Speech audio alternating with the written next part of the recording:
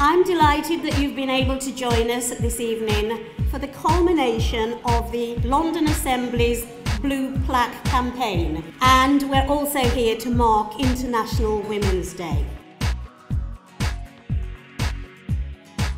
We need to remember just how much this representation matters and how important it is for us to be the authors of our own stories.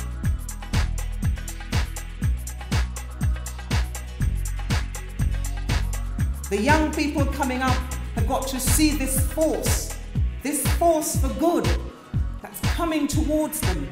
Ain't no stopping us now. We're on the move. Uh-huh. Uh-huh. Ain't no stopping us now. We're in the groove. Oh yeah. And you do it with a smile.